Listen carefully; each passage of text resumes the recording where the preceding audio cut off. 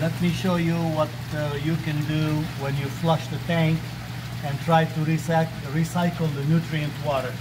So if you come close and see this, I flushed this yesterday, so it had time to settle, and and I have uh, the some of the fish weight is floating. Uh, uh, some of the big pieces uh, uh, sank to the bottom. So if I can take this out, and of course this is rudimentary system, I just thought of this idea. This is a fish uh, net and I put a towel on it to catch that.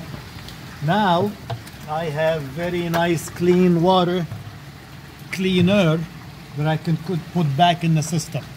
So in the past, I uh, used flush, dump it, and add new water. Well, this is nutrient. I mean, this is rich source of water, and that is what I'm trying to do.